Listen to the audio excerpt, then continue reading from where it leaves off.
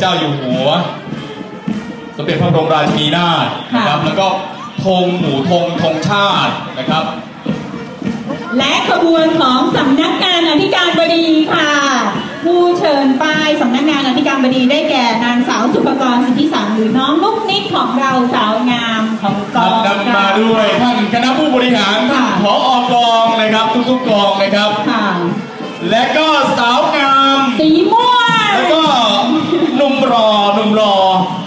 สีม่วง สีม่วงวันนี้สำนักงานอธิการบดีแรง